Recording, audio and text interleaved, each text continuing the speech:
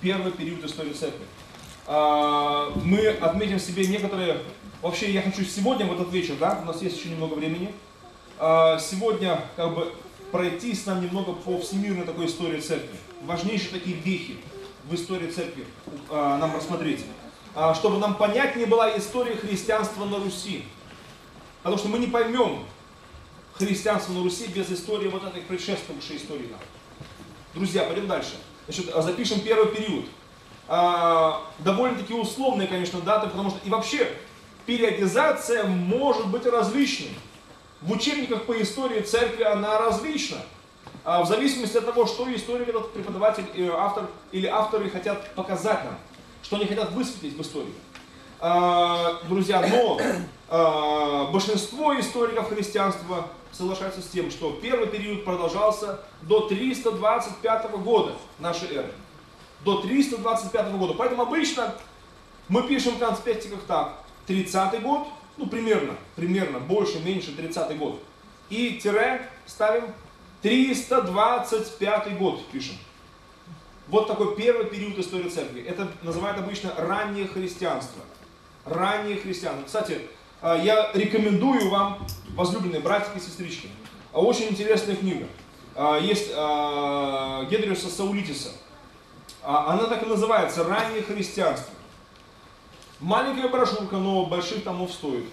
А, в ней а, нет таких вот размазываний, воды мало этой. Э, в ней именно сжато и конкретно сказано по существу об истории именно этого периода. Книга так называется его «Раннее христианство». Но не только до 325 года, он немного дальше провел еще, чуть дальше. так вот, и есть много других книг, а, библиографии могу дать при желании значит, э, позже. Но из православных авторов я рекомендую профессора Постного. Профессор Постнов это э, бывший преподаватель э, Киевской духовной академии, семинарии. Скончался он в Софии в, эмигра... в эмиграции, когда после революции, после войны гражданской многие, многие наши оказались там, за границей. Он был в этой волне эмиграции, и он скончался в Софии уже. Был преподавателем последний год своей жизни, он был преподавателем уже там, на кафедре тоже истории и оставил много работ после себя, но на русском языке издание только лишь два было, по-моему. А значит, это история христианской церкви, так называется. История христианской церкви, профессор Постов. И еще из э, вот наших вот, современных авторов, это, это Дмитрий Поспеловский, пожалуйста, его рекомендую, э, из православных имею авторов. Дмитрий Поспеловский. Э, прекрасная работа по истории церкви, сдержанные Э, он пытается именно как раз сбалансированно прибрать историю, э, как можно более объективно ее осветить. Хотя любой историк, он субъективен, конечно. Я это тоже признаю. Я смиряюсь перед этим, потому что я человек. А потому что я смотрю со своей колокольни.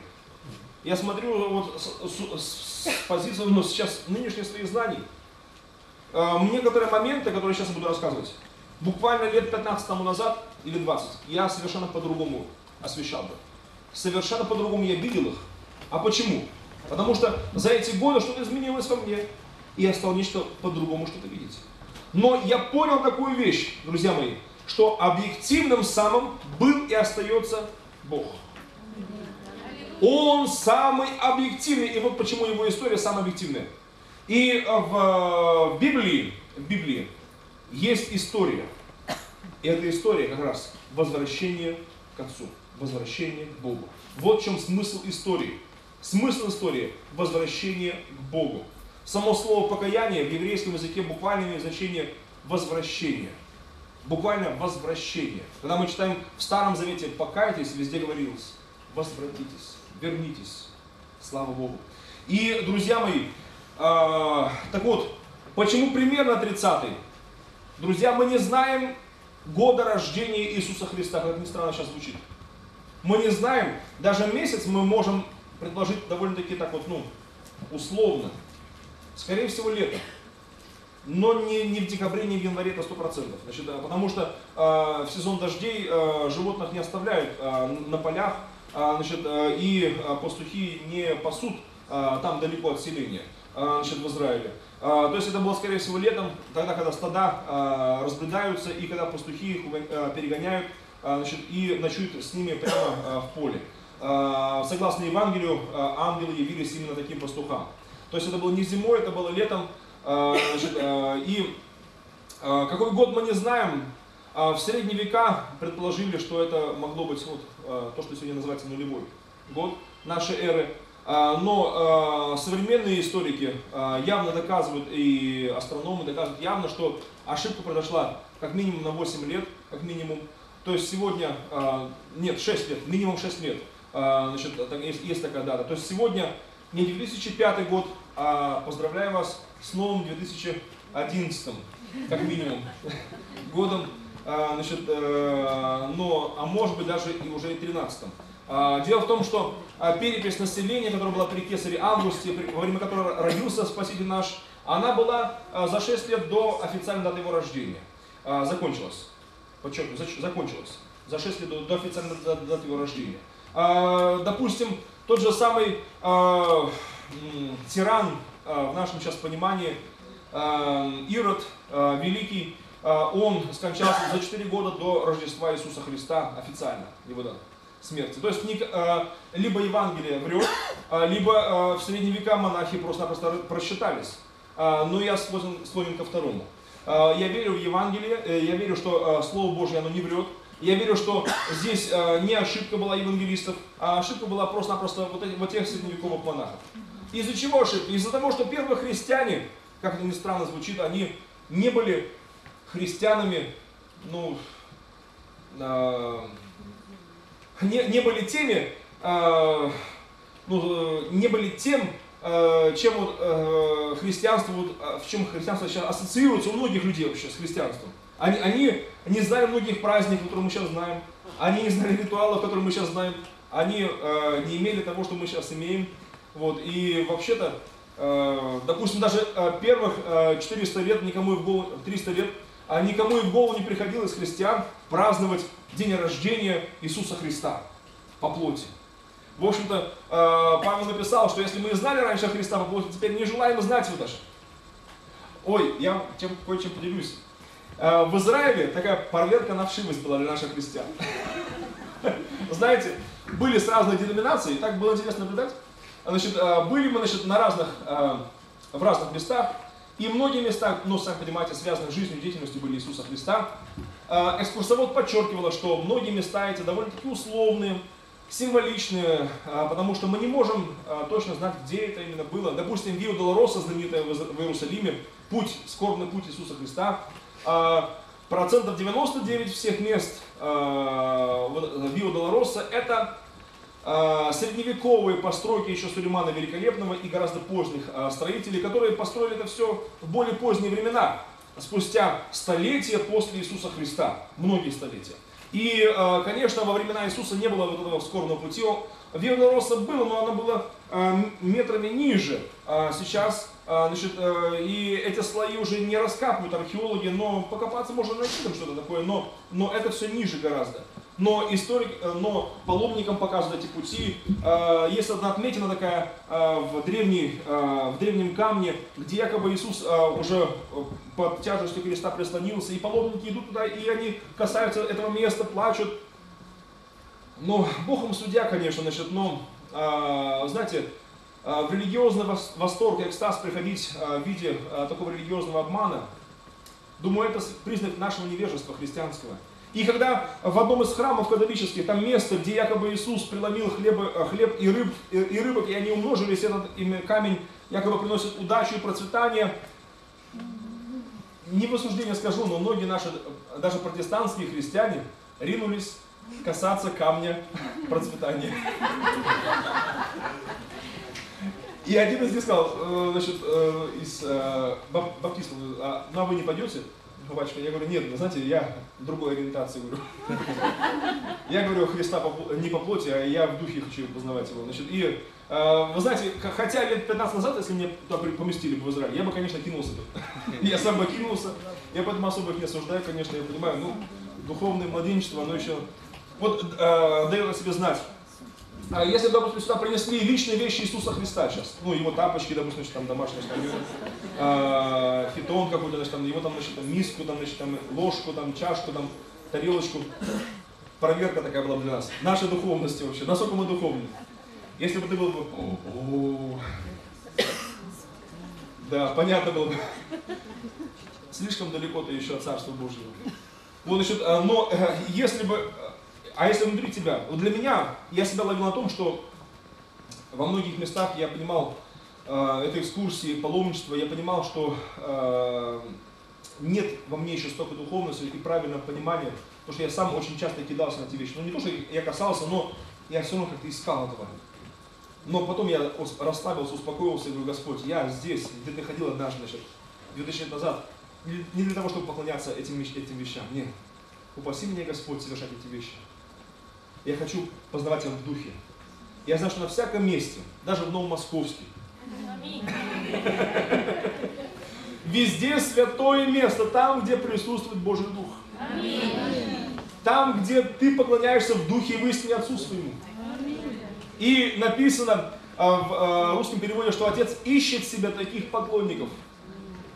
Мне нравится украинский перевод, там написано правное, правное. Правда, значит, жаждет. Жаждет. Отец жаждет увидеть таких поклонников. Как Иисус жаждал воды, просил воды. Отец жаждет себе увидеть на земле таких поклонников, которые поклонялись бы ему в духе и в истине. Аминь. Так что ты верующий, ответ на его жажду. И будь таковым. Будь ответом на его жажду. Слава Христу. И, э, друзья мои, конечно, э, первые христиане не отмечали многих этих праздников. Я не против этих праздников, нет. Э, пожалуйста, я готов использовать любой праздник, лишь бы прославить моего Господа и Спасителя. Для чего? Это не повод еще там повеселиться, просто расслабиться, как бы, да, а повод донести слово. Допустим, когда я проповедовал в мечети, мне давали слово, а, значит, а, в Киеве, а, в Москве, мусульманское учебное заведение, и при нем была мечеть, и этот шейх Имат Аль-Руб давал мне слово, значит, и это старший мусульманин Украины, как бы архиепископ только значит, над, над мусульманами. Значит, и он дал мне там слово, пожалуйста, я во всех регалиях пришел, значит, там, поделился словом, мне переводили на арабский язык, значит, мою проповедь там. И, и вы знаете, и я использовал их праздники, допустим, Курбан Байрам, я говорил, что есть такой прекрасный праздник у вас, Курбан Байрам. А, событие вспоминается, когда Авраам своего сына а, хотел принести в жертву. Я не, я не говорил, какого сына, потому что я понимал, что для них это ну, ну, цепляет их религиозные как бы такие струнки, потому что в Писании мы понимаем, что он Исаака э, чуть было не принес жертву, а они понимают, что Измаила, значит, ну, я не стал говорить эти подробности, но Бог дал так поним... мудрость, что говорить в общем, а потом говорил, а вы знаете, братья, что я считаю, что для меня Курбан Байрам уже состоялся. Это Иисус Христос. Он моя жертва. Для них это было, конечно, сенсацией, вот такое слушать значит. Но я так, я так нежно их подвел, что они как бы, они как бы расслабились и, и как бы им вроде принято. Да. И, э, друзья, поэтому, когда проповедуете, не говорите, вот мы такие, вы такие, там, говорите, мы, мы, Бог любит не просто тебя, а нас любит. Понимаете, Никогда не противопоставляйте себя людям. Вообще это, это некрасиво. Вот и, э, друзья, и так интересно, значит, и любой праздник можно использовать во славу Господа Иисуса. Тем более Рождество, тем более там все остальные праздники, их, их куча сейчас праздников этих вообще. И на Рождество э, мы, значит, там в Киеве, значит, проводили, проводили регулярно эти евангелизации, все святки. Есть прекрасные украинские колядки. Слышали, наверное, да? прекрасные колядки. В общем, мне так нравятся они, я их много каждый вспоминаю. И мы ходили с этими колядками и прославляли Иисуса Христа. И я каждый раз говорил, что, э, друзья, говорю, э, давайте поздравим нашего Иисуса, давайте э, подарим ему подарок. И, как говорится, лучший мой подарочек – это ты. Вот, и, конечно, значит, мы поздравляли людей с праздником и говорили, что Иисус хочет родиться в наших сердцах. Он хочет царствовать в них, расти в них. И люди принимали. Квартирные евангелизации в обычное время года они не очень-то идут. А, допустим, тем более многие напуганы сектантами и так, так далее. Вот, значит, а, ну, мне проще, конечно, когда люди, я звоню, значит, в двери, значит, и когда видят с толстым крестом, с большим крестом, значит, а на груди, значит, понимают, значит, что это, это он, это батюшка. Свои. Некоторые говорили, наконец-то наши стали ходить, а? А помните, Сектанты вот замучили, боже, печенку сидят уже. Наконец-то наши, говорю. Молодцы, говорю. Принимайте наших. Да. А можно хату посвятить? Говорю, конечно, посвятим вашу хату. Но Бог хочет в первую очередь осветить квартиру, которая внутри нас. Эту квартиру, которая душа называется сердце. Потому что не место света человека, а человек место на самом деле, друзья. Потому что Христос, который в нас, Он больше того, кто в мире. Если в тебе Христос, то кругом свято.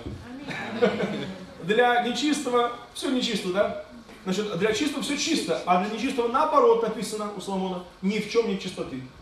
Слава Христу, друзья мои. И мы пели эти колядки, поздравили людей с, с, э, с, с э, именно рождением Христа сегодня, я говорил. Я говорю, сегодня Он хочет родиться в вашем сердце, Он рождается в сердцах верующих.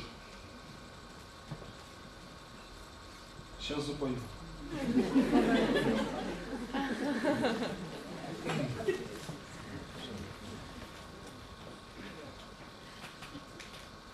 Нова радість стала, яка не бувала, над вертепом зірка ясна, світло засяла, над вертепом зірка ясна, світло засяла, де Христос родився, з діви воплотився, як чоловік пеленами убого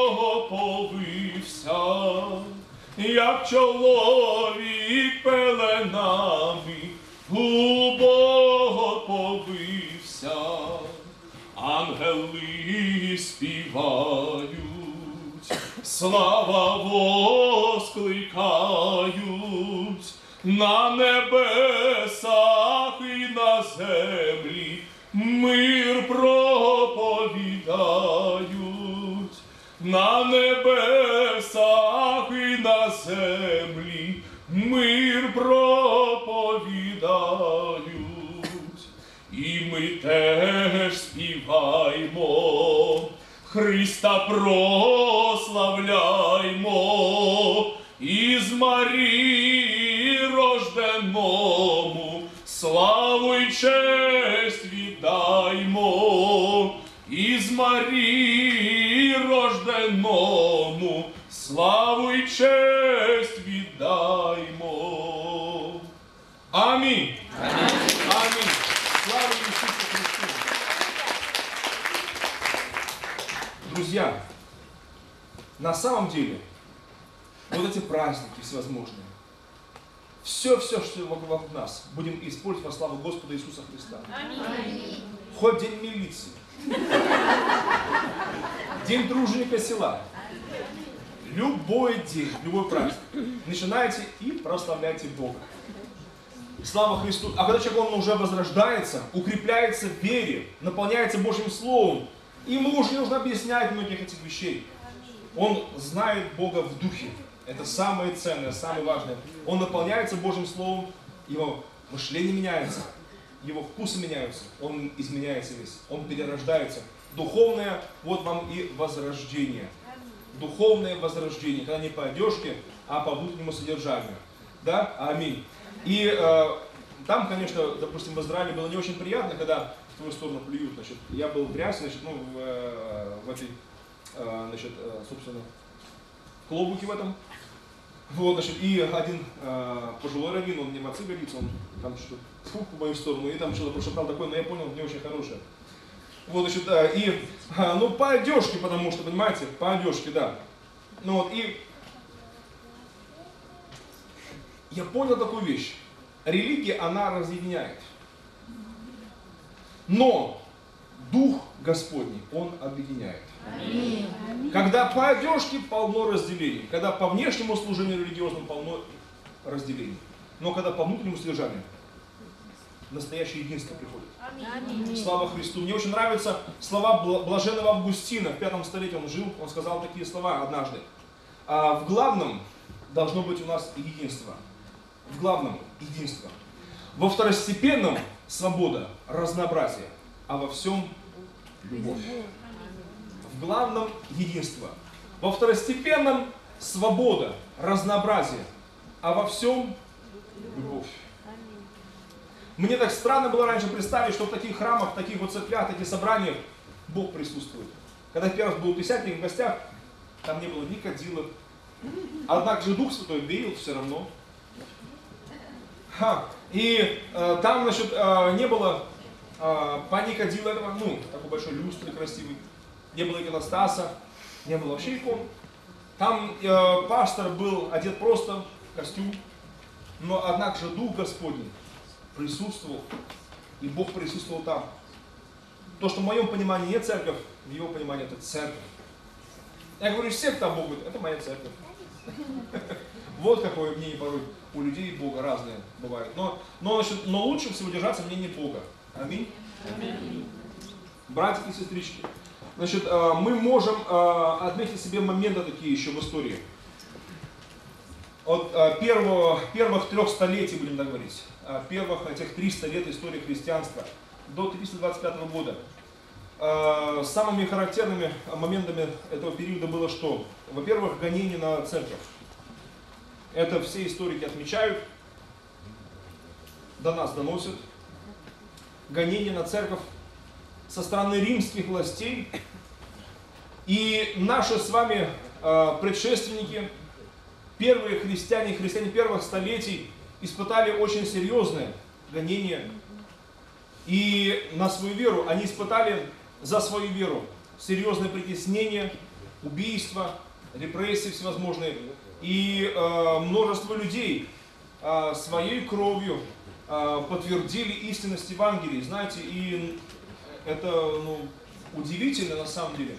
Историки говорят э, сейчас, что как минимум 3 миллиона человек было репрессировано вот в это время за имя Христа. Другие историки говорят, еще, называют еще более большую цифру, до 7 миллионов человек. Сложно, конечно, сейчас нам что-либо сказать здесь, потому что невозможно сейчас почитать уже, сколько же было репрессировано, сколько было казнено, сослано в ссылки, продано в рабство и так далее.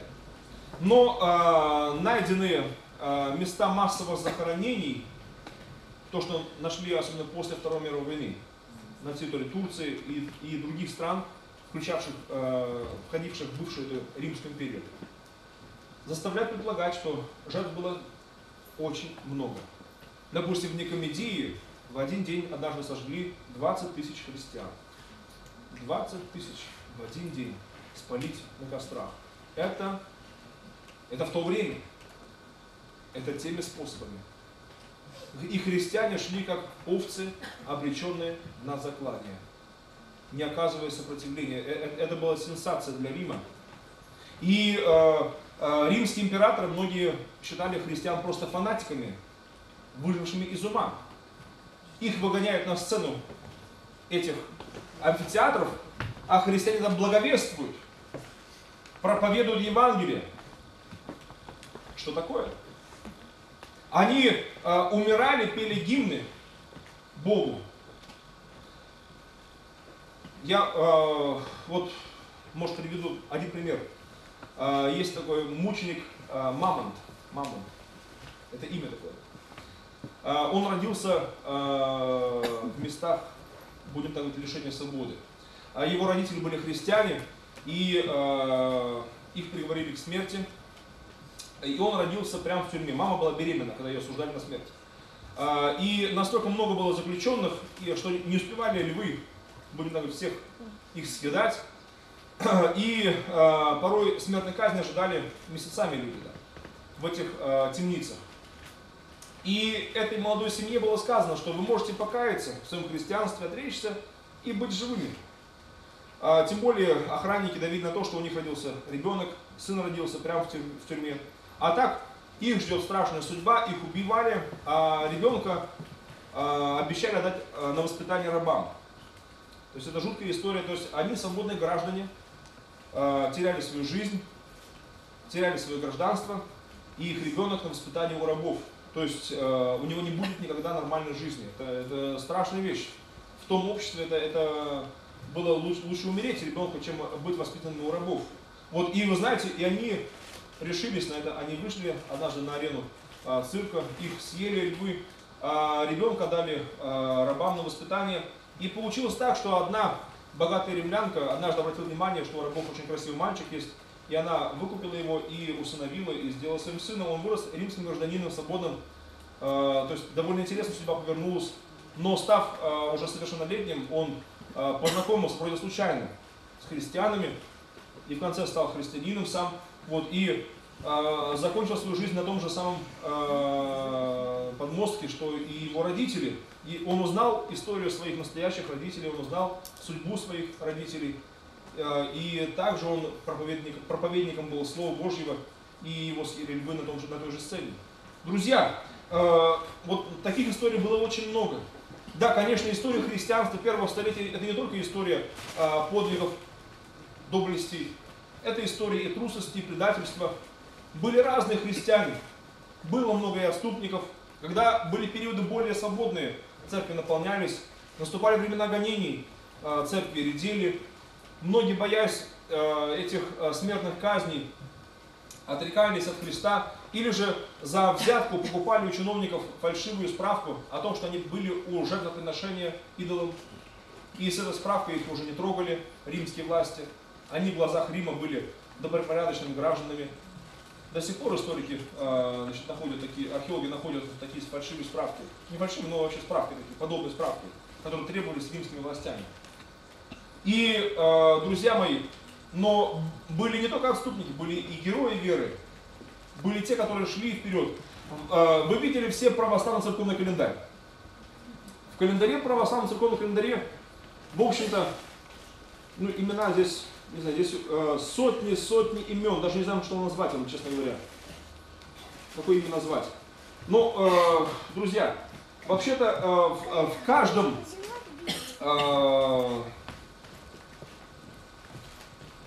скажу проще, вот в календаре православном больше половины всех имен, они, они подписаны как мученик или мученица. Знаете, да? Мученица, мученик. Так вот, большинство этих мучеников – это мученики первых трех столетий. Большинство почитаемых мучеников, допустим, великомученик Георгий, мученица Татьяна, Варвара, э, ну кто еще?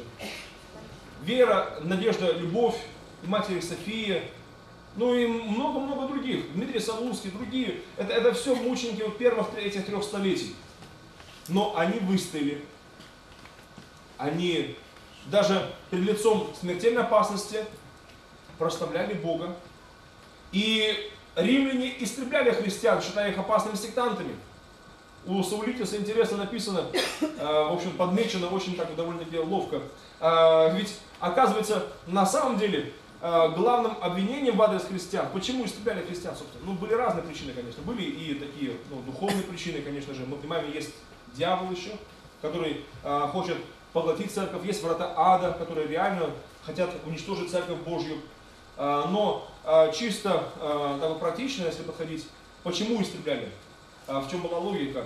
Ведь в Риме существовали разные секты, разные, будем так говорить, религиозные объединения, даже такие чудные, что вообще, ну, ну даже смешные даже религии. то есть очень даже разные. То есть, в общем-то, в Риме была свобода совести, будем так говорить. Там можно было в любого бога веровать, и, ну, почти в любого. кроме некоторых запрещенных там культов. Вот, э, фактически, ну, э, был даже в Риме такой храм, назывался Пантеон, храм всех богов. Представьте, такой духовный публичный дом, я так называю его. Духовный публичный дом. Там можно было зайти и выбрать себе бога, богини на любой вкус вообще. Там сотни богов, тысячи богов. Можно любому жертву принести и поклоняться, все. Молись, не хочу. А почему же христианство было под, в опале? Дело в том, что э, христианство для значит, э, большинства римских граждан это был атеизм.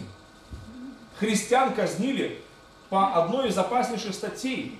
Э, это была статья в обвинении в атеизме. Христиан казнили как атеистов. А атеизм в то время карался смертной казнью. И атеизм считался тягчайшим преступлением против общества. Ты должен был хотя бы в кого-то веровать, а отрицать богов невозможно было. А почему назвали атеистами? нет, э, э, люди казались, значит, вроде набожными римлянам, но они видели в них атеиста. Почему, наши братья и сестры? Потому что для любого римского гражданина э, религия это был обряд, в первую очередь, ритуал, традиция. Допустим, ха, э, значит, э, был такой римский философ Цельсиус, или Цельс, Цельс в наших учебниках, Цельс. И э, этот римский философ, он написал свой бестселлер такой. А, значит, называется «Истинное слово против христиан». Или просто, или просто «Против христиан». И эта книга, она сохранилась благодаря работе одного христианского автора, более позднего. Его звали Ориген. Он написал книгу и назвал ее «Против Цельса». И он очень подробно цитирует Цельса, а потом конкретно и очень подробно отвечает много говорит о том, что Цельс не прав. И благодаря а, работе Оригена книга Цельса почти вся сохранилась. А, так вот, значит, и, а, и мы знаем благодаря Оригену, в чем обвиняли первых христиан. И в чем же? Во-первых, конечно, Цельса и прочих философов римских смущал факт единобожия христианства. Их смущал этот факт. Как же так? А, по разным нуждам как говорится, семь бед, один ответ. По-разному нужно, но молиться к одному Богу. У них был Бог вина, Бог там того, Бог всего, богиня того, богиня всего. И э, цель списал примерно следующее, я так примерно приведу. Э, он писал, что у нас, понимаете ли, значит, э, много богов, и они как бы еле справляются. А, а, они говорят об одном Боге, который справляется со всем абсолютно. И даже больше того, и даже вникают в мысли человеческие вообще. И всем интересуются. И, мол, а, христиане представляют себе Бога а, единого а, таким суетливым, таким, значит, там, а, во все вникающим, до всему которого есть дело, значит, и так далее. И все успевающий. Да, да, да, это было странно для Рима. А, такая новость об одном значит, который все, все понимает, все, все знает и... Да вы что? А, и, а, конечно, это было странно для Рима. И римский философ делал вывод такой, что вот, мол, христиане, они просто своей религиозной демагогией, они просто вуалируют, прикрывают свой атеизм. И любая религия Рима знала богов разных изображений, даже самых страшных, чудовищных, там, богов и богинь. А, значит, а, со змеями, с крокодилами, всякие-всякие, даже самых там заморских богов они привозили к себе для поклонения. Импортных много было время богов. А, значит, да, они импортировали каждый год очень много богов. Почему? И богинь. Они завоевывали новые народы, и этих богов, некоторых наказывали они, значит, значит, там, на, на срок исправительно брали, а потом принимали к себе в пантеон и молились им, чтобы они помогали Риму теперь, работали на Рим. Вот, значит, и, а когда христиан спрашивали, а где ваш Бог? Ну хорошо, ты говоришь о Христе, но покажи мне его хотя бы, ну, как он выглядит, как, кто он такой вообще. А христиане говорили, он у меня в сердце. И он везде, везде. Как он везде? Да, да что? Да, да. Но какое изображение есть? Нет. Значит, нет Бога вообще. Значит, ты просто бредишь вообще, ты просто сказки рассказываешь какие-то. И, в общем-то, когда первое изображение Христа сделали, это было в 222 году, а, насколько я помню сейчас, это был э, император Александр Север, он пришел к власти, и он, есть разные мнения, конечно, о нем, и порой диаметрально противоположные, но большинство историков считают сейчас его все-таки либо христианином, либо очень близким к христианству человеком. Его жена, одна из его жен была христианка, по крайней мере, это точно известно, а, его мама а, была очень близкой а, к общине римской христианской, то есть, то есть он был очень близок к христианам, по крайней мере. И вот, значит, и получалось так, что, получилось так, что он первым прочитал послание Павла, Евангелие прочитал некоторые, первый из, из, из римских императоров, который удосужился прочитать христианские писания. И как бы исследовать, кого же мы все-таки гоним. И он сделал вывод, что в христианах ничего дурного нет, что это порядочные люди, мы их, понимаете ли, гоним, они молятся за нас, благословляют нас. И он отменил гонения. А, значит, а, в общем-то, такие эпизоды были, подобные эпизоды в истории Рима на протяжении этих первых трех столетий. Но это был самый шикарный, конечно, эпизод, когда он не только гонения прекратил, но еще и благословил строить а, открыто молитвенные дома своим христианам, заниматься уличными евангелизациями, проводить в общественных местах, даже в самых таких зрелищных местах, свои богослужения, даже в Колизее, даже в римских амфитеатрах. То есть он давал э, свободу римским э, и другим христианам э, Римской империи. И, конечно, это было сенсационно, это было вообще, значит, э, и, народ порой валом валил в эти собрания христиан, смотреть, что же опасная секта такая. 200 лет их гнали, и вот их легализовали. И при том император даже поддержку им дал, оказал. Допустим, в Риме был кусок земли под застройку. Ну, понимаете, столица и столица, земля очень дорогая. И на нее претендовали разные религиозные общины, на нее претендовали политики и так далее. И император подписал эту землю, знаете кому? христианской общине. Это была сенсация, конечно. Значит, э, чуть не в центре Рима стоит христианский э, молитвенный дом. Это, это была сенсация, конечно. Вот, и, конечно, люди приходили, то смотрели, но они, они были разочарованы многие. Они видели пустые стены, места писания какие-то, значит. Они ни о чем не говорили, большинство этих э, прихожан. Будем так говорить, прохожан или захожан, как бы, значит, там, не знаю, как назвать их. Вот, и, э, и этот э, Александр Север, Э, он э, поинтересовался, есть ли изображение Христа э, у христиан, по крайней мере римских, столичных. Они сказали, что нет, и, и, и не было вообще-то. Он удивился, конечно, но сказал, что это дело поправимое. И обещал помочь в этом христианам. И сделали, ну, есть такая версия, что именно при нем сделали первое изображение в виде равина со свитками. Значит, Иисус из Назарета был написан, значит, там в виде странствующего равина его изобразили. Но, значит, в принципе, изображение это было потом утеряно. Есть один из рисунков, предполагает, что это, как бы, возможно, как бы изображение вот с того, с той скульптуры Христа. В римской церкви, в католической церкви есть легенда о том, что это изображение сделала якобы та самая женщина, которая страдала кровотечением, которая исцелилась чудесно от Иисуса Христа и в благодарность она сделала эту статую. Но это уже легенда. На самом деле историк говорит о 222 году. А, и, а, ну, друзья мои, христиане не восприняли это изображение и не использовали его ни в коем разе, и не имели изображения. А, Цельсиус писал, допустим, что с возмущением даже писал, у христиан их жрецы, их как бы, ну, как бы пастыря, там, будем говорить, старейшины, одеваются как простые рыбаки. Давайте вот а, я, я сейчас как бы выделяюсь из зала, да, значит, значит в рясе с крестом, значит, да. А, иногда одеваю всякие облачения такие, значит, а, есть дорогие облачения, есть, значит, там, значит, там, допустим, ну, у меня таких особо дорогих нет, сразу говорю. Вот, значит, но э, хотел э, как-то прикупиться в Москве, даже, значит, община мне выделила, значит, мои, значит, там, деньги, значит, там, чтобы батюшка мог приодеться маленько. Чтобы епископ был, значит, ну, при параде. Я сунулся было туда, в московский магазин. Там самое дешевое облачение было 1000 долларов стоило. Самое дешевое. Так. Остальные были больше, больше, больше. И напоминал уже контактные телефоны. Сумма. Вот, значит, э, шапка самая дорогая, стоила 50 тысяч американских долларов. Тогда, значит, э, ну, не такая шапка, понимаете, да, вот такая, как корона, там, с камнями, там, значит, там, золотом. Думаю, да, а ведь покупают отцы, братья. Думаю, видимо, процветание у них идет полным ходом. Ну, ну, значит, а, ну, в такой шапке, конечно, в метро не зайдешь, значит, по городу не пройдешь в такой шапке, значит. Вот, значит, а, но, конечно, красивое зрелище. Ничего не скажешь. И, значит, э, вы знаете, друзья, но в то время христиане были довольно-таки скромны. А, значит, служители одевались очень просто, и этим самым вызывали массу нареканий в свой адрес.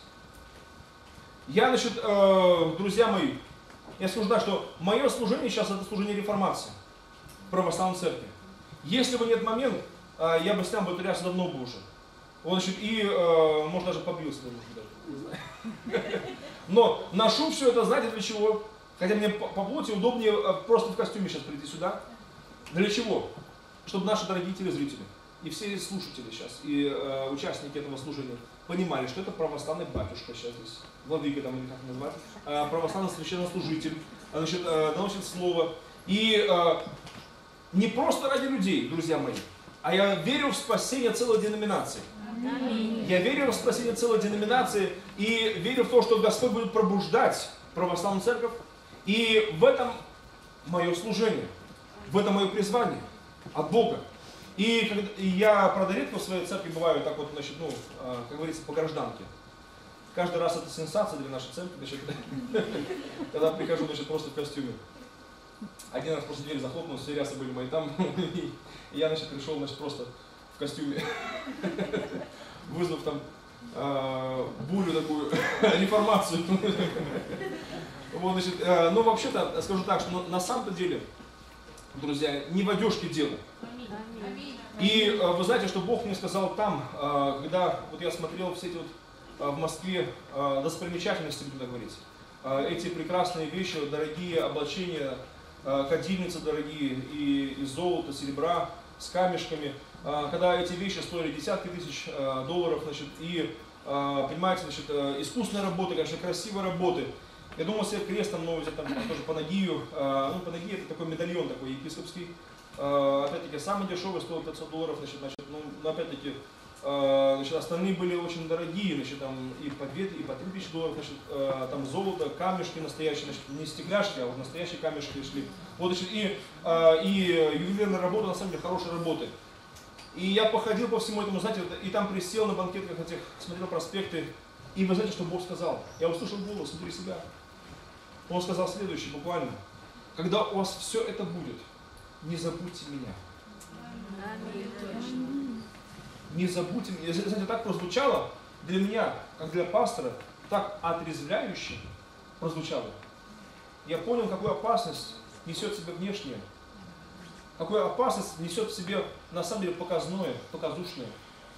Вообще то, что один раз на конференции мне нужно было одеть это облачение мое епископское, значит, дорогое это вот, шитое золотом. Я хотел бы одеть его, но вы знаете, значит, так неприятно, что стало внутри. Тоскливый так вот. Понимаете, как петух, думаю, камбурский, выйду, значит, в этом золоте, в этом микре, значит, но, но вы знаете, значит, но Богу, одним словом, я скажу так, что Бог дал такое слово. Я пришел просто в рясе, просто, значит, ну, с крестом, значит, по ноги, значит, просто в рясе, значит, но не, не одевал это облачение день. Я там слово сказал, короче, многие наши каялись, все, и Бог коснулся, значит, и сокрушали, что ушли не в ту степь немного. Время от времени нужно корректировать движение наше, да? Духом Святым. Слава Христу. И, а, друзья мои, так вот, а, церковь христианская, а, в этом периоде была гонима, но она сохранялась. И, как ни странно, испытания серьезно начались в церкви, самые серьезные, считаю даже, именно после окончания этих гонений массовых, период мира. Интересно, один, один румынский хри, христианин, служитель, который еще тогда, в советское время, вырвался, ему, его выкупили просто американские христиане, Э, Чаушеску э, распродавал христианских проповедников, э, которых он пытался уморить в концлагерях. Вот, и потом решил, что от того, что он просто изгнанит в концлагере, от этого мало прибыли, как бы, он решил их э, распродавать э, значит, э, своим э, как бы, оппонентам. Значит. Он продавал их в основном американцам. Э, за некоторых пастырей э, церкви платили по 50 тысяч долларов, за некоторых 100 тысяч долларов платили, за некоторых 300 тысяч долларов платили. Э, Чаушеску, чтобы он э, позволил им выехать э, из этого советского концлагеря и переехать в Америку или в Европу. И один из таких служителей, который был уже на пороге смерти, и его чудом вырвали из концлагеря, заплатив за него сумму большую церкви христианские, американские, ему сделали пресс-конференцию прямо в аэропорту, было масса журналистов и были светские журналисты, Некоторые верили в этот ад советский, некоторые считали, что это просто лишь как бы пропаганда Вашингтона. Значит, ну, одним словом, были разные вопросы, очень разные мнения высказывались. И один из христианских репортеров спросил этого христианина, э, вот вы, вот, христиане в, в Восточной Европе, вы переживаете сейчас гонения, оскорбления, унижения и так далее. И многие из того, что вы сказали, они сравнимы лишь с римским периодом истории церкви. Потому что там он рассказывал очень страшные вещи, когда Э, советские э, вот эти вот э, работники, эти КГБшники, совместно с румынскими коллегами, когда они вырывали ногти, значит, ломали пальцы, значит, ну, многие вещи делали, значит, значит, просто ужасные вещи. в холодное время года замораживали людей значит, и так далее. Многие были вещи, значит, над верующими издевались просто. Просто ну, нелогично вели себя вообще эти люди. И тем более большинство этих осужденных а, требовалось, от большинства этих осужденных требовали лишь одно, власти советские, а, подпиши бумагу, что отрекаешься от Бога, и все, ты свободный гражданин. А, живи где хочешь, по всей Румынии или там Советскому Союзу, пожалуйста. Вот, но повторя, а, эти служители эти страдали, и верующие страдали, отказываясь подписать такую бумагу. Ну, вот если Бога нет, так думаться, да, зачем нужна такая бумага?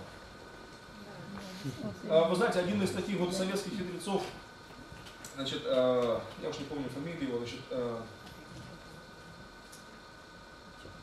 ну ладно, значит, один из советских таких деятелей времен Брежнева еще, значит, и один из его соратников, сказал однажды так, вот, значит, на- собрании, значит, это стало известно общественности мировой тогда, теперь уже и нашей. А, Значит, тогда для советского слушателя это было, для советских ушей это было закрыто. Это было только лишь, прозвучало лишь э, для э, тогдашней элиты, будем говорить, советской. И на вопрос, а зачем такие меры принимать, если Бога нет, он сказал, а кто вам сказал, что Бога нет? Он есть, но мы воюем с ним. Это признание э, повлияло настолько на одного из академиков советских, там присутствующих, что он тайно покаялся после этого и э, уехал за границу. Удалось ему уехать. А, И вырваться из этого а, советского мира. И вы знаете, друзья мои, а, на самом деле мы живем в то время, а, у нас а, мало времени, но вот а, советское время, нами прожитое, большинство из нас родились в стране, которая уже, слава богу, не существует. А, Но а, мы в ней родились и воспитывались, и формировались как люди, и трудились, и верили, а, или не верили, но жили в этом мире советском. И вы знаете, это впервые в истории цивилизации, в истории человечества страна родилась, где открыто официально заявили, что Бога нет, не было и не будет. Но элита знала, что Бог есть, но вели борьбу против Бога. Друзья, и э, сегодня э, борьба не ведется против Бога так, вот так вот открыто, нагло, э, демонстративно, как тогда. Э, но церковь по-прежнему, она проходит испытания определенные. И в периоды мира, и в периоды войны церковь проходит испытания. На войне, как говорится, как на войне. И церковь э, христианская, выйдя из подполья с 1925 года, подверглась еще большему гонению, но уже такому не открытому, а скрытому давлению который еще более опасным является для э, церкви на самом деле. Открытый враг, это если враг открытый, с ним легко бороться. Ну что такое, к примеру, когда вот, э, ну, я помню свои студенческие годы, когда, значит, э, э, преподаватель марксистско-ленинской философии у нас, э, значит, э, она, э, она знала, что я уже, значит, уже и э, в церковь хожу, вела работу такую, значит, и каждое ее а, занятие, оно начиналось так, что значит, все понимали в классе, что я мишень, и номер один. А, Значит, э, и э, все темы были так поставлены, что, значит, что все понимали значит, в классе, что, значит, что я значит, э, крайний вообще здесь постоянно буду. Вот, и она говорила мне, диплом не получишь никогда вообще, только через мой труп вообще получишь, значит, все. Ну, Бог милостив, он не дал ей труп, значит, значит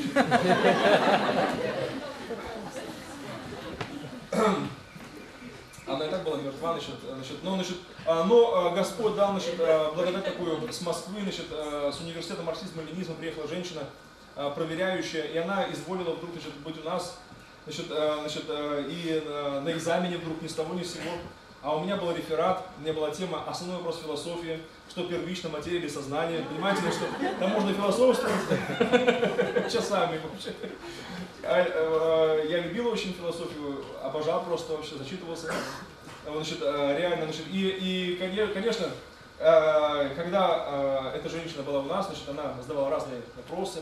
Я цитировал там, значит, и классиков марксизма-ленизма, и э, рыночников, значит, и, э, и, и капиталистов, будем так говорить, значит, э, цитировал, и э, священнослужителей православных цитировал, значит, и это очень все, очень все понравилось. Но самое интересное, она так и не спросила, какого же лично я мнения об этих вопросах. Она так и не спросила. Но вывели мне 5 с жирным плюсом. Значит, э, и дали мне анкету, эта женщина привезла с собой анкету, значит, э, на одну, значит, э, к нам привезла анкету на поступление как раз в этот университет марксизма ленинизма. И именно мне дала и говорит, Журавлев, приезжай ко мне говорит, в Москву, ну, ты мне нужен, короче, мы с тобой поработаем, это хорошая кандидатская, значит, э, твой, твой реферат, это хороший, кан- мы ее доработаем, под моим, конечно, чутким руководством, значит, значит, и продвинем вперед. А, значит, э, и знала бы она, что я в том же году еду с документами в семинарию православную. Вот, конечно, это было, ну, я пощадил нервы этой женщины. Значит, э, но та учительница по марксистско-ленинской философии, она, конечно, выбежала в коридор, вся красная. Она обещала, что диплом я не получу, однако же там стояла в книжке жи- 5 жирным плюсом, значит, это никак нельзя было уже стереть уже, значит, вообще. Она, она говорит, ну что, ты же не собираешься поступать туда, значит, ты же по своей там этой, э, какой-то своей там линии, там, значит. Ну, я отдал эти документы, благословил ее, говорю. Да, вы знаете, друзья мои, Бог милостив. И проходя разные периоды в нашей жизни, и в истории, вообще в истории твоей личной, ты проходишь разные испытания, и гонения, и скрытые, и открытые. Но очень важно, чтобы во всех этих обстоятельствах ты оставался с Богом.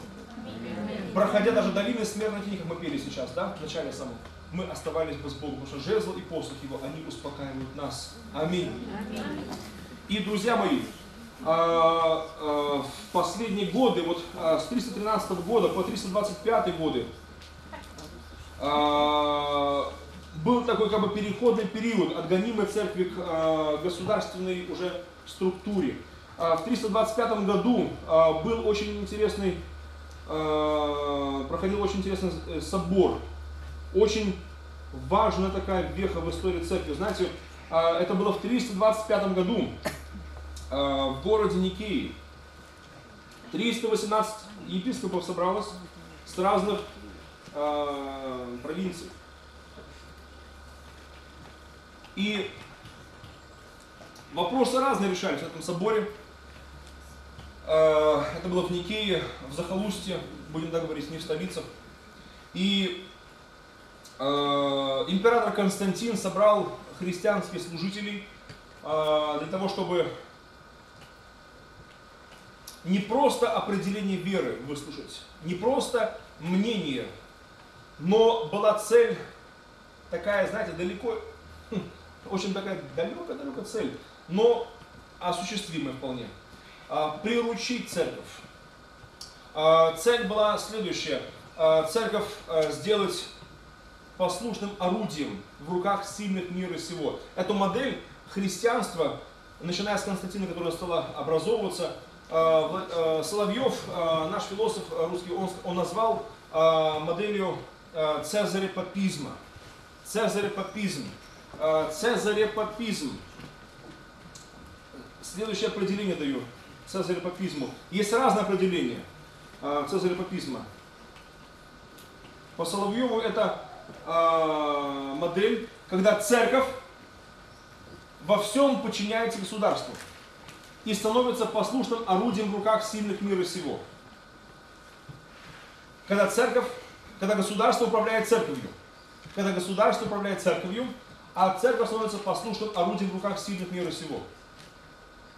И э, есть э, вот эта модель э, цезарепапизма, э, и в основном в истории христианства эта модель э, наиболее характерна для православия. Есть другая, для восточного христианства, говорить проще. А, Значит, д- есть другая модель, она называется э, папоцесаризм. Наоборот, когда церковь управляет государством, и государство становится инструментом в руках церкви. А, Эта модель более характерна в истории была для западной католической церкви. Времена папизма, а, допустим, вспомним а, времена крестовых походов и так далее. Когда, когда папы собирали, а, собирали армии невероятных размеров, допустим, Урбан, второй, который первый крестовый поход благословил. Знаете, сколько он собрал европейцев по знамена свои? Порядка миллиона человек. Никто никогда до, до него столько не собирал. Это, это было уни- уникально. Он соб- собрал рыцарей и э, наемников и армию с разных стран Европы объединенной. И все было под начальством Папы Римского. И Папа Римский отдавал приказы, и сильный мир всего, государи, значит, лишь рапортовали о проделанной работе, как бы, и решение папы как бы в жизнь. Значит, и, и вообще, значит, папа был всегда прав. А если папа не прав, смотри пункт первый. В общем-то, а, на, на этом строилось а, западное христианство многие столетия подряд. А, значит, на, на этом оно как бы ну, замешивалось. На Востоке была немного по-другому, другая модель была. На Востоке модель именно вот такая, которая еще с Константина шла еще Цезаря папизма когда, в общем-то, отдавали приказы императоры, будем так говорить, священнослужители, духовенство, обслуживало сильных мира сего, такой как бы религиозной проституткой являлась, значит, и, в общем-то, служила как раз именно средством порабощения масс, на самом деле, то, что писали старые наши, наши советские эти историки, это, это правда было. Но это была не вся правда, конечно же это была полуправда. Потому что кроме этих страшных этих моделей извращения религиозного, было и оставалось настоящее христианство. Были настоящие христиане. И а, трагедия лишь в том была, ну, трагедия главная в том заключалась в этот период уже, во второй период истории церкви, что а, настоящих христиан гнали уже христианские государи, как бы, и христианские правительства. И их называли сектантами, отщепенцами и еретиками, которым не хочется жить как все которые почему-то плывут, понимаете ли, против течения. Константин в 325-м, когда церковь легализовалась и вышла из подполья, легализовалось порядка 100 церковных объединений, порядка 100 религиозных объединений, юрисдикций, как называли тогда уже, юрисдикций, порядка 100 объединений. И э, из них э, четыре было самых крупных объединения. Это римское, конечно, значит, э, это антиохийское, иерусалимское и александрийское. Это были самые крупные. Но были и другие, порядка ста всего. И, друзья мои, кроме этого, в городах, таких как Рим, Антиохия и другие города, порядка 10% населения оказались христиане. Это после жестоких гонений, после репрессий, друзья в условиях конспирации церковь настолько научилась распространяться, двигаться, что целая сеть церквей домашних была по всей Римской империи. Хм. И это не касалось не только рабов, но даже самых высокопоставленных. Если вы, э, если вы в истории помните, даже во втором веке казнили даже одного из сенаторов, сенатор Аполлоний. Одна из версий, казнили именно за проповедь Евангелия. Не где-то либо, а прямо в Сенате. То есть, значит, надо было умудриться прям в Сенате, в гадюшнике в самом, будем так говорить, значит, да? Это все, что где-то на пленуме ЦК КПСС, значит, кто сказал, значит, там, Христос воскрес, а Брежнев уже доложили, говорит. Вы знаете, значит, э, и э, скажу так, что э, Константин, легализовав христианство, узнал, что, что в его империи значит, порядка 10, до 10% населения это христиане. И при том, что еще нужно учесть, что не все церкви легализовались. Оставалось еще долгое время, и об этом есть масса, есть упоминаний о так называемом нерегистрированном братстве. Те церкви, которые так и не вышли из подполья, которые поняли, что здесь какая-то опасность поджидает христиан. И они не ошиблись. И э, на этих именно не э, вышедших из подполья христиан через буквально 30-40 лет была объявлена настоящая травля, настоящая война. Их обвиняли уже в, э, вообще в отступничестве, во всех смертных мыслимых и немыслимых грехах. И чаще всего расправлялись путем даже церковным над ними уже. Это была, это была жуткая история, друзья. А, так, пойдем дальше. Мало времени, но я скажу в общих чертах сейчас о дальнейшем пути а, значит, э, дальнейший период, это второй период истории церкви, обозначим, давайте мы, друзья мои, э, следующими датами. А, второй период истории церкви. Мы его обозначим 325 год, тире 843 год. 325 год, 843 год. И этот второй период можно обозначить, назвать как? Зарождение и формирование ритуального христианства, зарождение и формирование ритуального христианства как государственной религии Римской Византийской империи. Зарождение и формирование ритуального христианства как государственной религии Рима и Византии. Друзья, э, трагедия разыгралась в этот период времени истории церкви. И почему я постарался вас подвести вот к этому сейчас времени? История христианства на Руси непонятна нам была бы без этого периода, без, без разбора вот этого второго периода еще. Потому что когда Русь Киевская приняла христианство, официально, 988 год. Да, 988 год. 988 год, то есть конец 10 столетия, да? Правильно? 988. А, Но, конечно же, друзья, мы должны понимать, что христиане на Руси были с самого, как говорится, первого столетия. Допустим, взять, допустим, юг Украины, а, взять, допустим, а, Крым, Херсонскую, Николаевскую области, там нашли массовое захоронение времен первых христиан, сосланные христиане там жили, трудились, благовествовали и в первом, и во втором, и в третьем столетиях. То есть юг Украины был христианским во многих местах. Я был сам на раскопках, допустим, Херсонеса Таврического, был на раскопках других крымских и Херсонской области. Я видел, на самом деле, неоспоримые такие подтверждения археологов о том, что там проживали целые улицы порой. Целые улицы поселения были христианские. На вольном поселении были, как говорится. А раньше, значит, там Ялта, там, крымские многие эти курорты были местом ссылки, как говорится. Каторжно. Вот, значит, э, да. И, э, друзья, так вот, значит, э, и э, там было много христиан в этих поселениях, римских греческих поселениях. Но и до Владимирову, будем эпоху, на Руси Киевской много было христиан. Они селились в Киеве, селились по всей Руси матушке. Киевская Русь простиралась, границы ее на севере, это были северное Белое море, будем говорить, Скандинавия.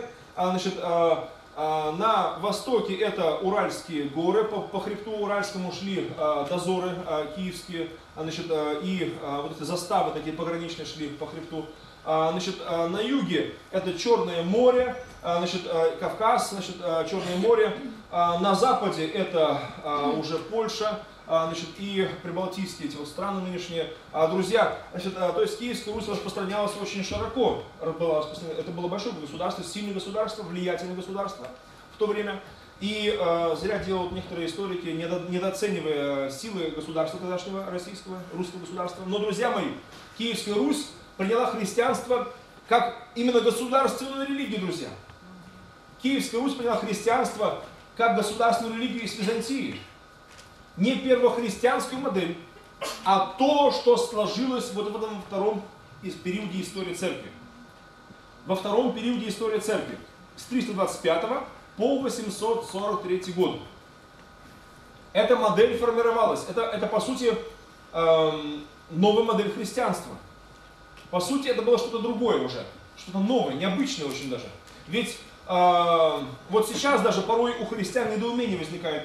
А как же так? Ведь а в христианстве, значит, если мы читаем Библию, нет того, нет всего, ну, что мы знаем сегодня в христианстве. Допустим, а, в Писании э, не говорится о том, что нужно использовать портреты Иисуса Христа, апостолов, значит, там, значит, там, а, ангелов, изображения для поклонения Богу, допустим, да, использовать изображение картины для поклонения Богу. А почему сегодня в христианстве это сплошь и рядом распространено? Вот в православии, в католицизме, у некоторых протестантов даже а вот э, взять на Западе, в Германии, допустим, или э, в Израиле, даже протестанты некоторые используют значит, такие моменты. Но, а, друзья, где же правда? Мы знаем, что истина на Библии, в Слове Божьем есть, да? Мы знаем, что а, Бог, Он говорит правду. А почему же в церкви есть много того, что в Библии запрещено, допустим, Бог говорит, это нельзя делать. А церковь говорит, можно, даже нужно. Бог говорит, вот так надо делать. А церковь говорит, нет, надо так делать. Кого же слушать, друзья? Бога или церковь? А, э, Бога и, и- или людей. А, разные есть, конечно, есть мнения по этому поводу. Когда я пришел а, в церковь и а, вошел в служение церковное, а, в 88 году я стал, я начал, начал служить в православном храме. Это было под Орлом, в селе, в обычном православном храме, Никольский храм такой, села Лепешкино, под Орлом. Начал свое служение, как лидер группы прославления, как говорится, проще говоря. На клиросе пел, читал, руководил хором. Значит, и, и, друзья, и тогда моему а, ну, настоятелю и моему тогда духовному отцу, а, значит, а, священнику а, протерею Иоанну Квитович, я много вопросов задавал. Хороший священник, митрофорный протерей, заслуженный, весьма уважаемый, который, как правильно, вот там мучился в этой структуре, видя и слыша дела беззаконные. Значит, но он слыл праведником, значит, а, и люди приходили к нему молиться, чтобы он помолился за людей других. И, и, и вы знаете, были такие вот а, отдельные священники, порядочные, которые старались жить по совести все-таки. Вот, значит, а, не все были продажные в то время, значит, не все, значит, были такие, значит, стукачами, там, в КГБ и так далее. Были и порядочные священники. Вот, их было немного, значит, в то время, значит, но были такие священники. Вот, и а, скажу так, что, значит, что этот священник, я прилепился к нему всем сердцем, на самом деле. Потому что я видел в нем, а, ну, пример для подражания. Если другие священники, они лишь там за деньги совершали обряд какой-то определенный, не заплатишь, не, не, не подмажешь, как говорится, не поедешь. Этот священник сам а, совершал служение, и даже если человек нуждал, бедный был человек, он даже еще сам еще бл- благословлял его еще. Еще не то, что с него деньги брал, а еще если видел, что там нужда в семье, он сам еще, значит, ну, так вот тайком или через кого-то, но а, он давал им денег, еще, там, чего-то еще, чтобы про- продукты всякие давал, чтобы они там э, что-то имели. Вот, то есть э, человек был э, такой, вот именно э, Божий человек. Но, к сожалению, он был в заблуждениях тоже, живя вот среди вот этой э, структуры, он тоже пропитывался всем этим, и меня тоже заражал вот этим ядом заблуждений. И когда я говорил ему, отец говорил, вот так и так, дорогой батюшка, вот как же, я читаю Слово Божье, читаю Библию, и я не знал никаких там протестантов, абсолютно ничего не знал. Вот, значит, и э, я говорю, вот я читаю Слово Божье, Библию, и там есть много вопросов таких вот для меня. Потому что несостыковка, вот то, что мы делаем, и то, что вот совершается в нашей церкви, и то, что вот есть Слово Божье. Допустим, ну как я художник еще по образованию, значит, я э, заканчивал училище художественное, значит, значит, и вот и э, много тогда делал, э, и икон э, всевозможных, значит, э, и на заказ, и, ну, я в так просто благословлял, значит, э, эти церкви. Я считал, что нельзя как бы, кормиться от этого, значит, ремесла, я считал, ну, для Бога такое. Вот, значит, и, э, и вы знаете, значит, и, э, но в Слове Божьем там говорилось, что нельзя это делать изображение, потому что по будет тот, кто поклоняется, тот, кто изготовляет все это. Подобно им будут всякие делающие их и надеющиеся на них. То есть и проклятие, проклятие приходит в адрес а, и того, кто поклоняется изделиям человеческим, допустим, иконе, а, или же портрету какому-то, да. А, и в адрес того проклятие приходит, кто это все изготовляет. И понимаете, ну, мне жутко было, я не хочу, чтобы мои руки, я имел руки, и они не слушались, потому что я имел глаза и, и имел сердце, и ничего не чувствовал. Я не хочу быть таким. Я, и- я не хочу быть таким идолом, таким мертвым. Вот, и, э, и вы знаете, э, и этот священник, он говорил, знаешь, Сережа, говорит, значит, вот так и так вот, э, да, он с Беларуси, он сам такой, э, так, вот, Сережа. Знаешь, Сережа, говорит, значит, вот, вот ты вот э, просто неправильно читаешь. Не через те очки. Ну, я очень уважаю этого батюшку, значит, о- очень уважаю его семью. Его, его сыновья сейчас священниками являются заслуженными священниками, известными очень а, сейчас в России священниками. Вот, и э, скажу так, что, ну, при всем уважении к этой семье, значит, э, и к этому, к памяти этого служителя Божьего, значит, скажу, что, ну, впитал я в себя через него и не, не только хорошее, но много и вот этого яда, религиозного яда.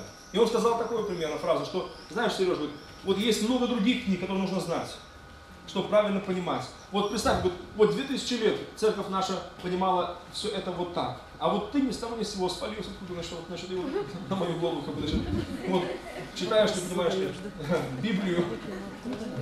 Ну вот наши люди этого не делают, как в булочном такси не ездят, значит, да. Но, значит, э, но, друзья, вы знаете, значит, и э, я со временем, э, ну, я, я и перестал читать Библию.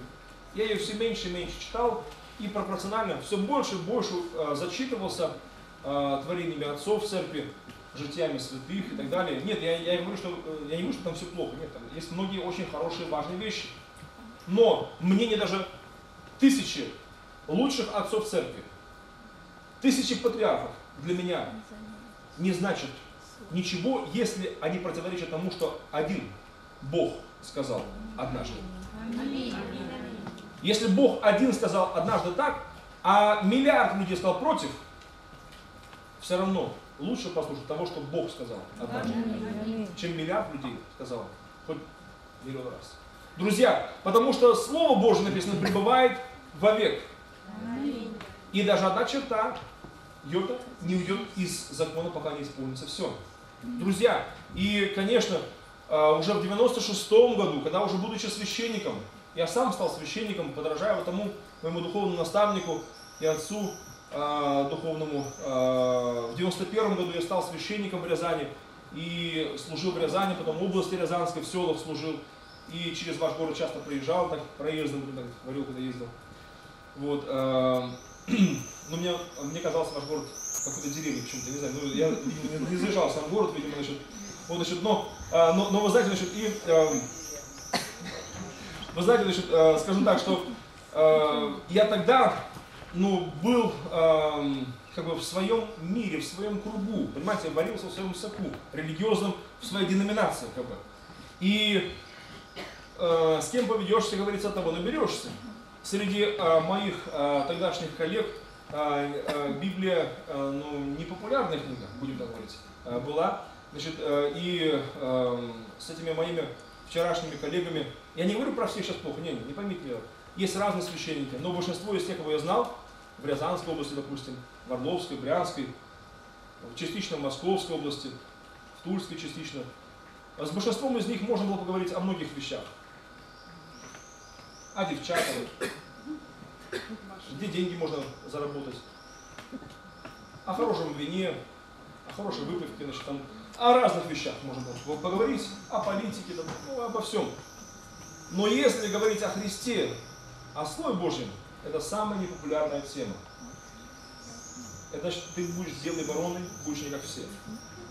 Один священник не говорит, я понимаю, ты не пьешь, но должен пригубиться ради, ну, это ж, ну, все-таки, ну, как ты что будешь, один будешь, все нормально, один, один будешь трезвый так, значит, понимаете, вот система разрешена. Я сейчас говорю, это не для осуждения моих братьев. Нет. Я верю в исцеление церкви. Я верю в пробуждение церкви. Скажешь, ну Горбатов могилу исправит. Не-не-не, ну могила это не средство к исправлению. На самом деле есть живой Бог, который оживляет. Там в Израиле а, у нас осталось немного, 10 минут всего. Я хочу, значит, а, вот а, давайте договоримся так. Завтра, а, прямо с утра здесь, я немного скажу об этом, об этом втором периоде истории церкви и отвечу на ваши вопросы. А потом продолжу вот как раз эту тему и буду говорить о христианстве на Руси.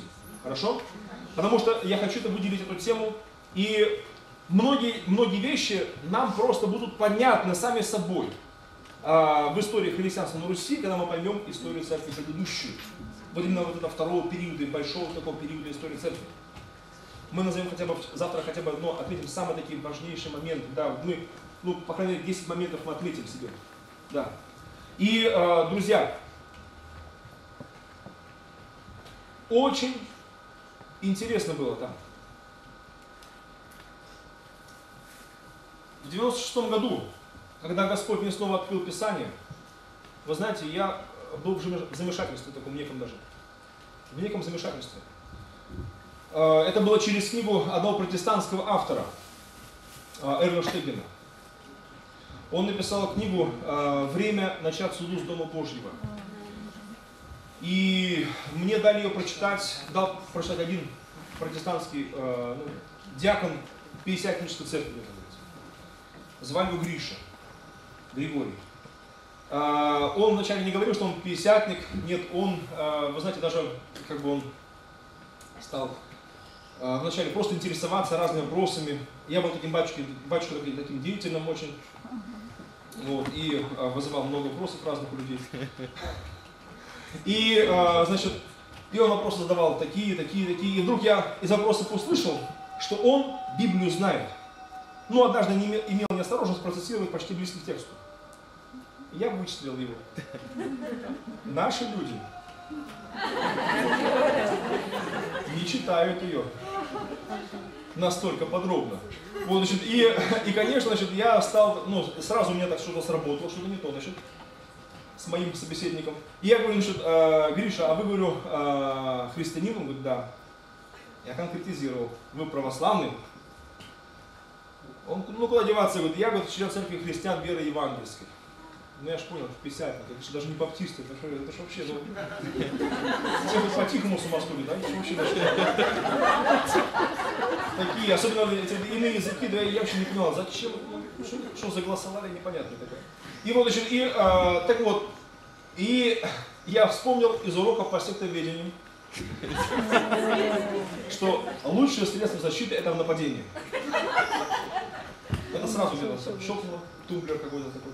И я сразу стал говорить, какой же вы христианин, говорю. Вы же, говорю, креста не носите. Икону не поклоняетесь. Мощей у вас нет. Вообще бедный вы человек, у вас ничего нет. Он не спорил, и вы знаете, значит, он тогда дал прочесть эту книгу свою. Да, он дал, после того, как он взял мою книгу прочесть, понимаете, вот, значит, он заручился таким моим доверием, что ли, а, дал эту книгу прочесть. И, а, вы знаете, я когда прочитал эту книгу, я вспоминал того Гриши, э, вот разговор с ним, я подумал, на самом деле, вот если э, такой человек, как вот этот Эрл Штеген, э, там в этой Южной Африке, э, вот если такой человек, он есть у протестантов, то, думаю, ну как же он может не спастись вообще? Для него Иисус на первом месте вообще. Для него Слово Божье свято. Вообще, ну, такой умница. Думаю, вот, это, это как же говорю, златоуст наших дней. Почему его в семинариях мы не изучаем? Вот, вот, вот, вот по гомилетике хотя бы, вот такие проповеди замечательные. Вот, и, конечно, удивительно, вот именно книга вот Эрла, э, она повлияла э, на меня настолько, что я кинулся искать свою Библию. Батюшка, где моя Библия? Я полдня искал свою Библию. Вообще, ну, нет, не то, что мне, у меня не было Библии, у меня была Библия. Я переезжал с места на место, с прихода на приход, значит. Вот, значит, э, есть такая система воспитания, Э, в традиционной церкви, если священник он не, э, не участвует в этой коррупции и так далее, то его обычно гоняют с приходом в приход, и обычно по селам там, таким отдаленным. И, значит, средство воспитательное такое было. И вот, значит, и Библия сама переезжала, конечно, с прихода на приход, но она лежала где-то там под стопкой нечитаемых книг. А, нет, конечно, я Евангелие читал, и каждый день э, фрагмент какой-то прочитывал, конечно же, значит, нельзя говорить, что я вообще был таким профаном. Тем более, что э, в, ну, читал каким образом? По-славянски, значит, на литургии, значит, на все, на, на, на каких-то обрядах, там, на, на служениях, на таинствах. Есть какие-то фрагменты из Писания, конечно же, есть. Вот, и я их прочитывал, конечно, зачитывал. И нельзя говорить, что Бог не касался. Бог касался. Но вы знаете, когда я Библию свою нашел и открыл ее, именно свою, которую я изучал когда-то, вы знаете, э, я услышал голос. И это было не то, о чем говорил один киевский раввин. Он сказал однажды, традиционный, еще такой, ну, не принявший еще Иисуса, надеюсь, скоро принявший будет. Э, он сказал однажды так, что, ну, в разговоре просто. Знаете, вот, когда человек говорит Богу, это назовем молитвой. Но когда он говорит человеку, это уже шизофрения. Но это мнение Равина, это не мнение, конечно, Библии. Значит, мы знаем из Библии, что Бог говорит, по-прежнему говорит. Вот, и шизофрения закончится э, смертью старого человека и жизнью нового человека.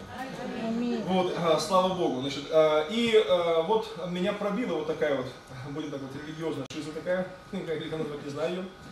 Вот, значит, а, и, конечно, что понимаете, вот я услышал голос. Это было внутри меня, это было настолько потрясающе, что вот не передать просто-напросто. А, и я услышал этот голос, и он не сказал, ваше преподобие, там, отец Сергий, дорогой батюшка, там, как-то еще. Он сказал, знаете, как Сережа, и настолько приятно было. Я не спорил, там, значит, ничего вообще о табеле о рангах там. И вообще, значит, и, и, понимаете, значит, было приятно, наоборот, что он меня помнит, не забыл, что я для него Сережа по-прежнему, что он, что он меня знает вообще.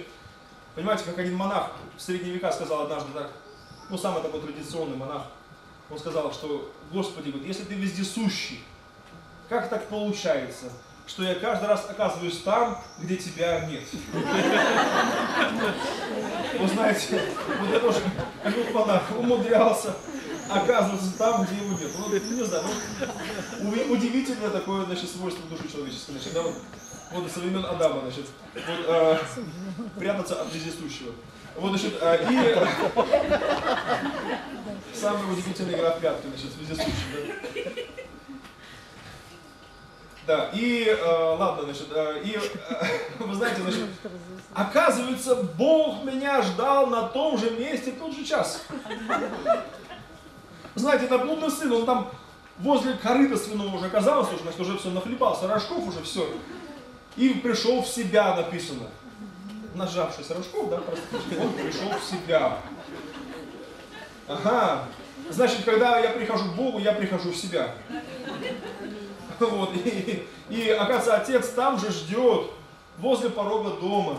Оказывается, отец готов принять все. Нам нужно прийти в себя и вернуться просто-напросто. Вот, оказывается, Бог нас ждет всегда. На этих замечательных страницах Божьего Слова. Оказывается, Он нам хочет говорить по-прежнему. Он хочет любить нас. Он хочет делиться с нами своими меч- э, своей, своей мечтой. Э, Он хочет услышать наши мечты. Он, он хочет общаться с нами.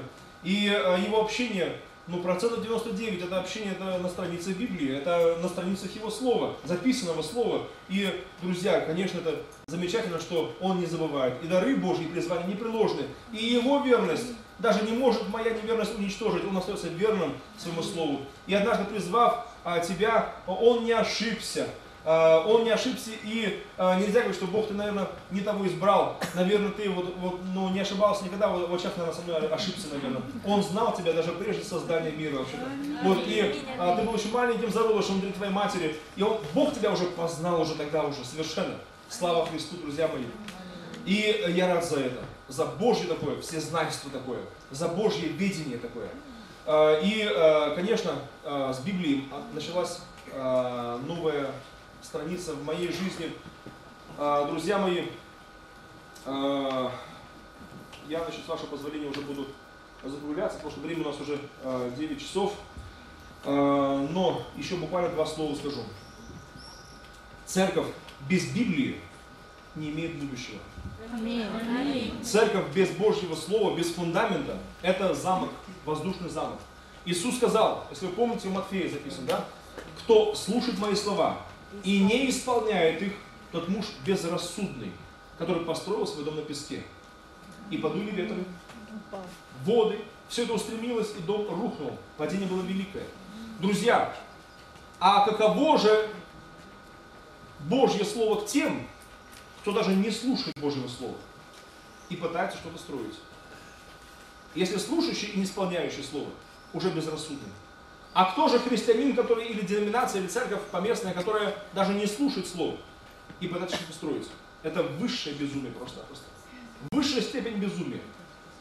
Друзья, я верю, что приходит конец безумию человеческому. Я верю, что приходит конец этому безумию, и приходит как раз вот тот час, то время, когда в каждом храме, опять-таки, звучит Божье святое Слово.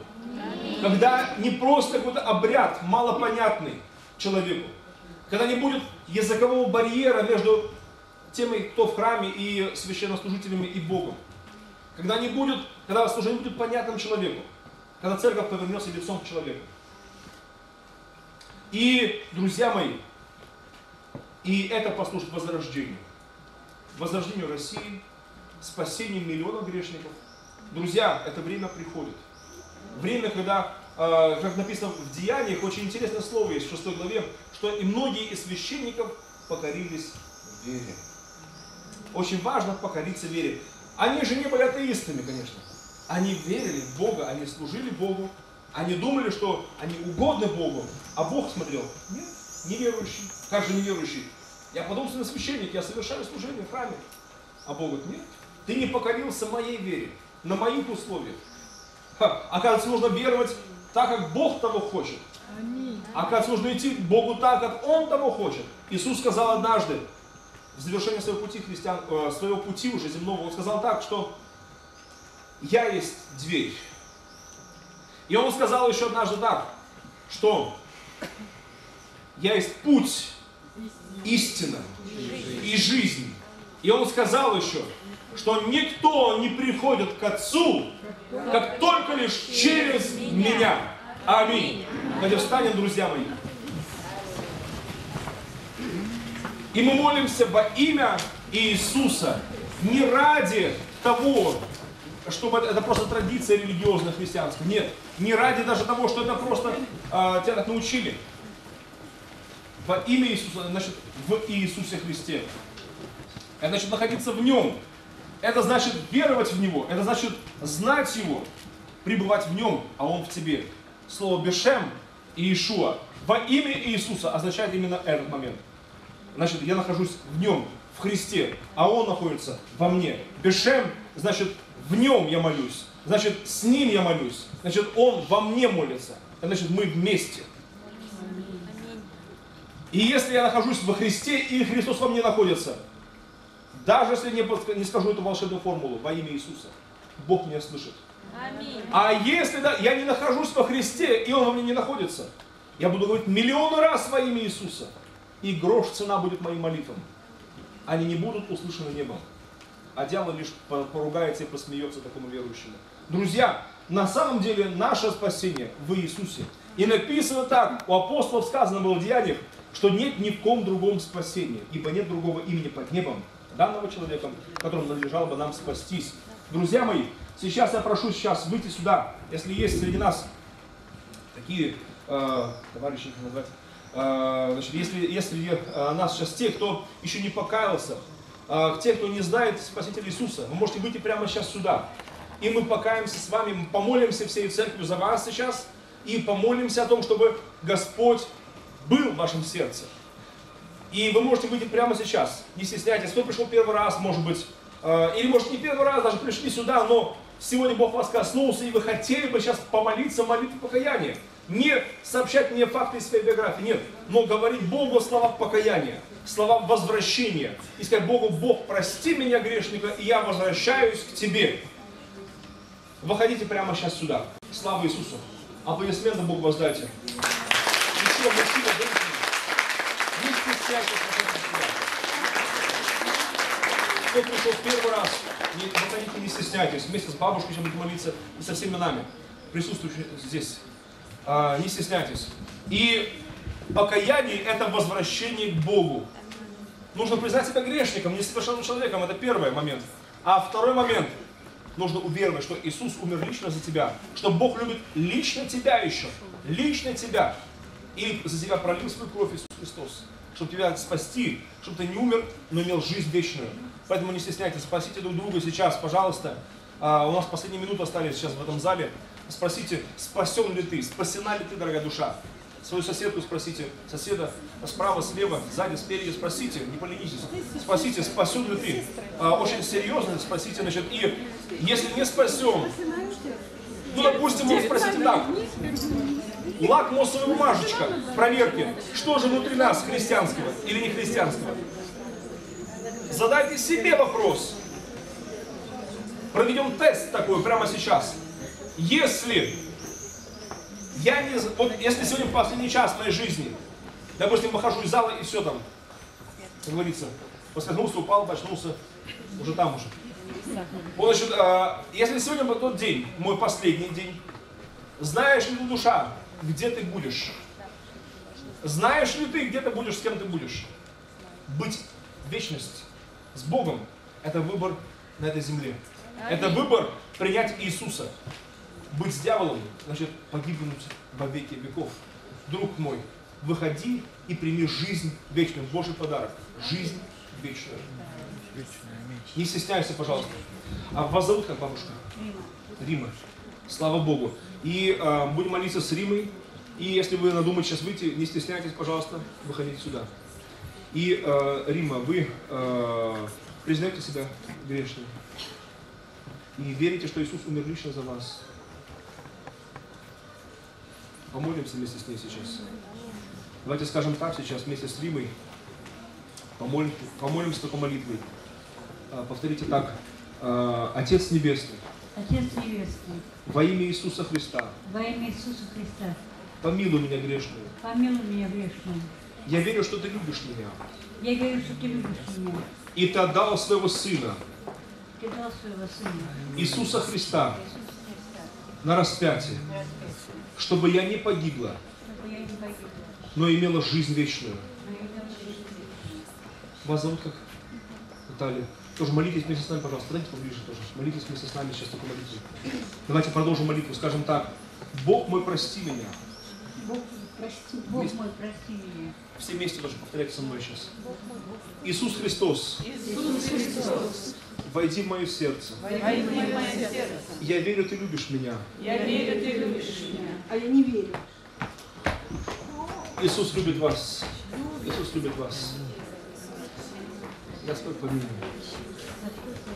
Скажите так сейчас. Иисус Христос, Иисус Христос, прости меня, прости меня, омой меня омой меня от всякого греха. от всякого греха.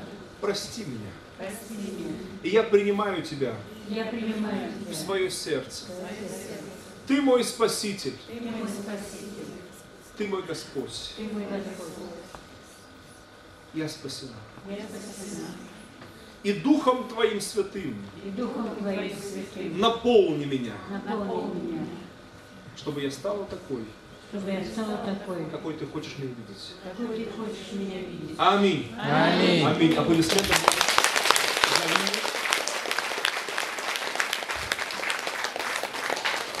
Я верю, что Наталья Бог даст, да- даст покаяние, может быть, завтра. Вы не, э, не смущайтесь, можете прийти на молитву покаяния завтра.